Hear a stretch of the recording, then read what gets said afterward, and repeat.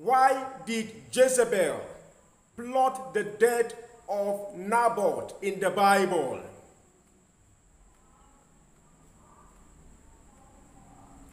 Because she want to help her husband secure the vineyard that belongs to Naboth.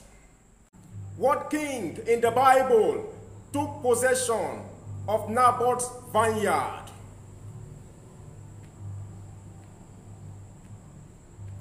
King Ahab. In what city is Naboth's vineyard?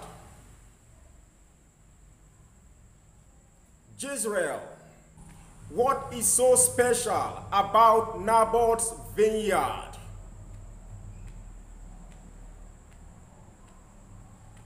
Naboth's vineyard is so special because it's an inheritance.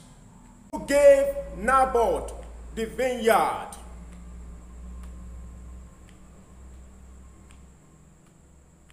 His fathers gave him the vineyard.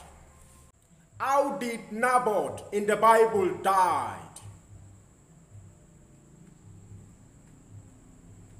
According to the Bible, Naboth was executed by Queen Jezebel. Have a lovely day. God bless you. Bye-bye.